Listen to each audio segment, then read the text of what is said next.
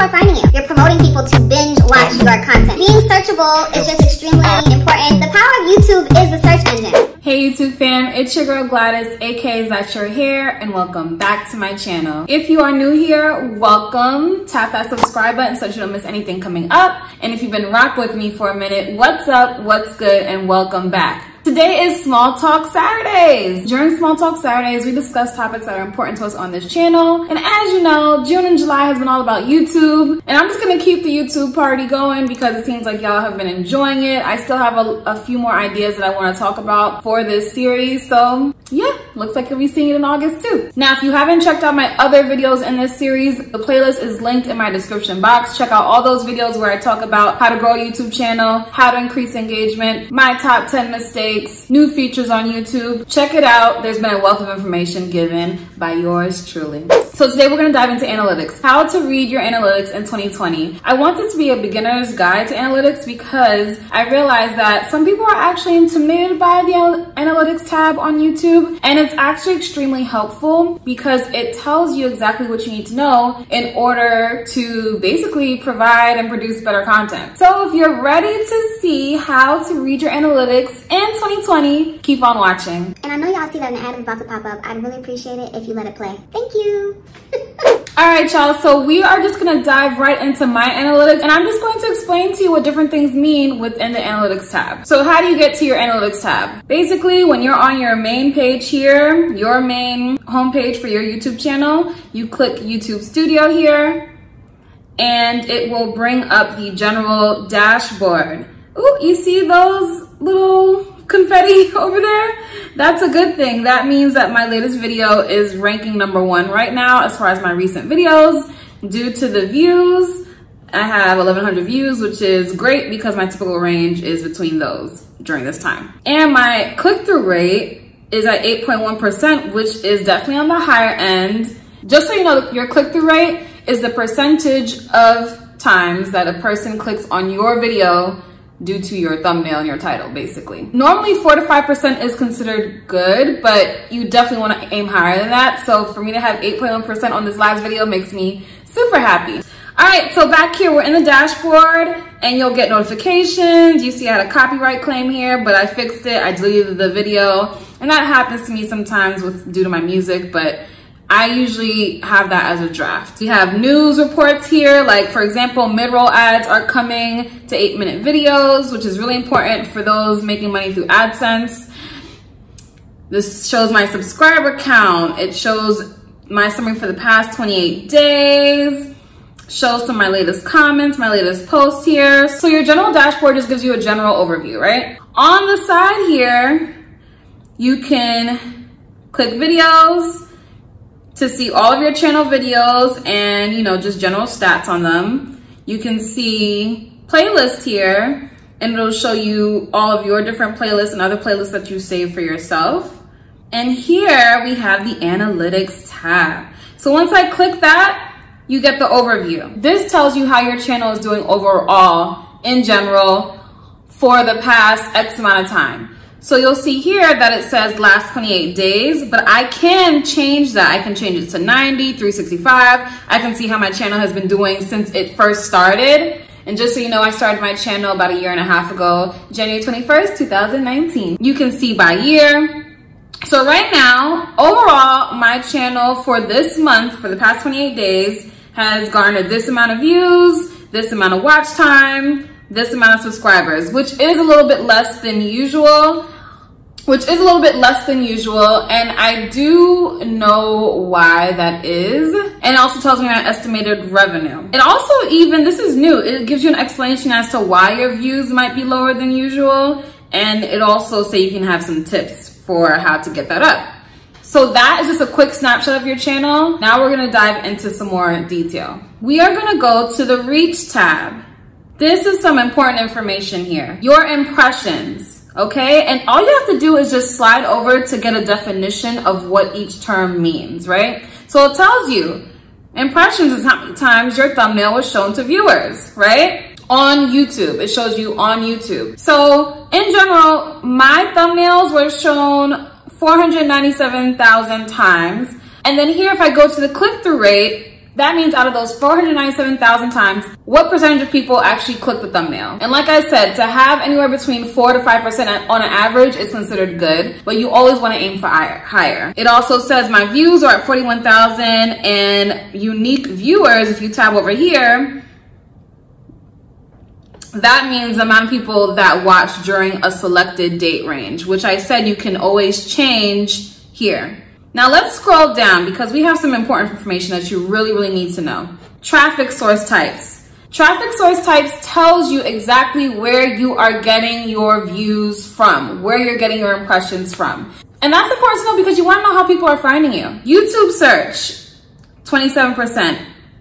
YouTube search is literally people who find you on YouTube. Browse features are usually from the YouTube homepage, from the subscription page, you have channel pages, which means these are the people that find you from someone else's channel. So let's say you're watching Jackie Aina and then you know how at the end of the video you have like 20 different videos that pop up that you can click on? If someone clicks on your video, that counts as a view for channel pages. And then you have suggested videos. Suggested videos are the videos that pop up on the side panel and they are suggested to you by YouTube based on what you search for on a daily basis, based on your browsing history, etc. on YouTube. And then you have external traffic sources, which could be from anywhere outside of YouTube. So literally you can click down here and see more to get a more detailed view of where your views are coming from. Like I see for me, I have 11,000 views in the past 28 days that have come from YouTube search. And I have about 10,000 from browse features. Based on looking at this alone, this tells me that in the past 28 days, my top traffic source right now is YouTube search. That means people are typing in whatever keyword and they're finding me, which is a good thing because I think, especially as a new YouTuber, you want to target YouTube search. You want to make sure that your title, your tag, and your description box are optimized so that you can be found in search. The power of YouTube is the search engine. Remember, YouTube is the second largest search engine right under Google because Google owns YouTube. Okay, that's the hierarchy. And being searchable is just extremely important and an advantage to have. So I'm happy with being found through YouTube search. And if you click here, it will actually tell you the keywords where people have been finding me for the last 28 days. So look here, is that your hair? I've gotten a few views from that. Outre Julianne wig. I know that video did well for my channel. I've gotten a few views from that. Now I can click here and go to lifetime just because I'm curious. What are some keywords that have helped me come up on YouTube search just over the span of my entire channel? Now when I click lifetime, I have different keywords that come up. I still have is that your hair come up, but I also have bang wig, wig with bangs, Brisa wig. And I know that's because I have one of my very first videos that ended up doing well later on. I'm sure that's because of that search, Nisha203. My channel focuses on wig reviews, so all of this makes sense. And when it comes to doing YouTube search, I think I'm doing a good job targeting that. And looking at that traffic source tells me that. Okay, so I'm gonna exit out of here really quick. And I'm also going to show you another important feature, browse feature. So over here, it shows you homepage, subscriptions, from watch later, from watch history. The main two features from the browse features are the homepage and the subscription feed. If you are popping up on the homepage, there's a very likely chance that YouTube is suggesting your content. And the way that it works is YouTube will suggest your content at first to a small group of people on YouTube. And if it sees that it's gaining traction, it will then expand and suggest your content to a lot of people. And that's how people go viral. Yes, people can start the process of being seen through YouTube search, but when it comes to going viral, nine times out of 10, it's because YouTube is suggesting your content. For example, in 2019, one of my videos went viral, and this is the results in 2019. 90% of that traffic came from YouTube recommending my content, which is crazy. So being able to show up on the home feed is really, really important. If you look here under suggested videos, you see, let me see. These are all my videos here. This is basically telling me that my videos are suggesting my content, which is good. That's great that my videos are pushing you towards more of my content. That's showing YouTube that my content is binge worthy and worthy of being suggested to others. Now, the last traffic source I'll check out here is channel pages. And like I said, channel pages are when people find your content at the end of someone's video and all those boxes come up where you can choose different videos. If they click on your video, that is a point towards channel pages. So as you can see here, my top three are coming from myself, from Kai Rashawn, Hey Kai, that's my YouTube best friend. And Mika, Wigs to Wasteland. So that means when their videos are playing, my videos are are popping up at the end of their videos. So that's awesome because we're all within the same niche. So we're just over here recommending each other. It's all cyclical. That's great that more people that are interested in my content are able to find me through those other channels. So those are the main traffic sources internally, like on YouTube. But there's also a section down here for external traffic sources. And as you can see, this month, Facebook clearly is the main external traffic source, 46 0.3%. And that's due to the fact that when I post a video, I also post it externally to Facebook groups and I do get traffic from people clicking on the links in those posts. So that's why you see that I get traffic from there. And that's an awesome thing because YouTube loves seeing that you're getting external traffic from somewhere else. The more eyes YouTube has on the platform, the better for YouTube. That is the MO. They want to keep gain, garner as many people on the YouTube platform as possible. Now down here we have, you know, how my suggested videos are doing, YouTube search and playlists. And they also talk about my impressions. But what I wanna go into next is engagement here. And you'll see what your top videos are doing for the last 28 days, your top videos by end screen, your top playlist. And for me, this makes total sense because I promote these three playlists in like almost every single one of my videos. And that's what you should be doing. You should be promoting playlists because again, you're promoting people to binge watch your content, which YouTube likes to see. And also here you see your average view duration, which is two minutes and 36 seconds, which is okay, but we're gonna get into view duration in a second. I'm gonna click on audience now, right? It shows me how many subscribers I've gained in the past month, which has gone down 24%, but that's okay because we're working on it. and here, this is super important because these areas are new. It shows you when your viewers are on YouTube. So as you can see here, if I look down, it says on Thursday at 1 p.m., many of your viewers are on YouTube. But then if I scroll down further, it says here, very many are on at 5 p.m. The darker purple it gets, the more people that are on ready to watch your content. So typically for me, you, you'll notice that I typically post content later in the day because that's when more people are on watching my content. That's when my subscribers tend to be on. But for you, it might be different. So it's important to recognize that. Also, I noticed the subscriber bell notifications, it literally tells you who has turned on notifications for your channel, and of those people who turn those notifications on, it tells you who actually has YouTube notifications enabled. So this is why you see people saying, subscribe to my channel, turn your notification bell, because the sooner you know about our content, the sooner you can watch, the sooner that you can comment and like, and all that pushes us out there on the YouTube algorithm and it works in our favor. So if you haven't subscribed yet, if you haven't hit that notification bell, I suggest you do that right now. Now let's scroll down here. Watch time from subscribers. I'm actually really happy with this because mine has gone up in the past month or two. So the percentage of people watching my content right now is 48.8%.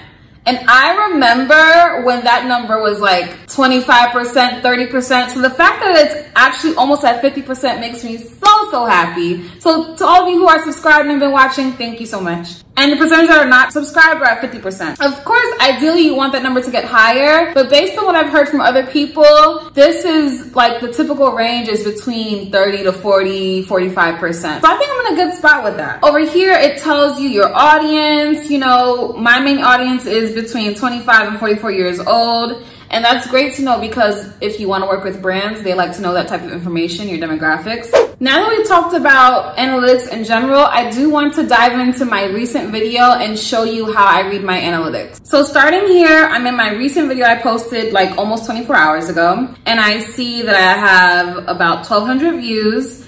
My audience retention is at a 36.1%, which is great for me because my goal is to reach 40% hopefully consistently on each video. I haven't been able to do that yet, but it's coming. I feel it because for my past few videos, I've definitely been reaching the 30% and up mark. So that's been awesome. So 36% is great. It's showing me my real-time activity here. It's showing me my top traffic sources. Browse features is at 49.1%, so that tells me that my video is showing up on people's home pages, which is what I want. And also, if you look at this graph here, this graph, the blue line is how your video is performing currently.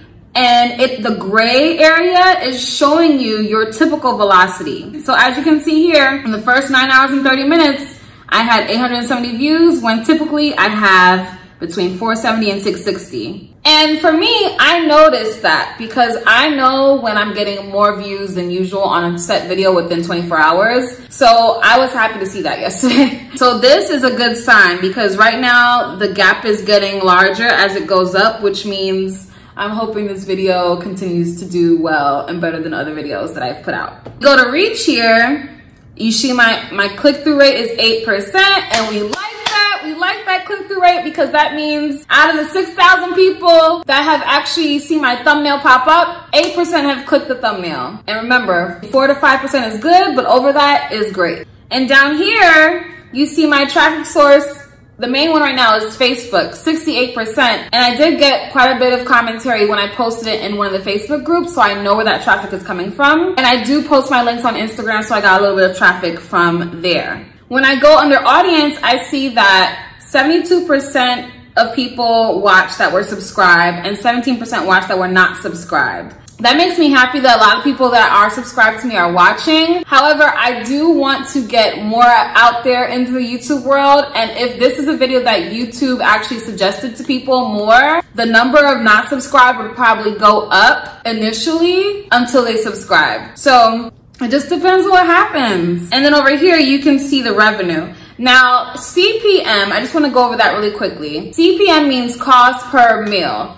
That is your cost per a thousand views. So every a thousand views on this particular video, I will have $7.81. However, that's not the case with every video. Some videos I've had a CPM of $11, which is great. I wish those videos went viral.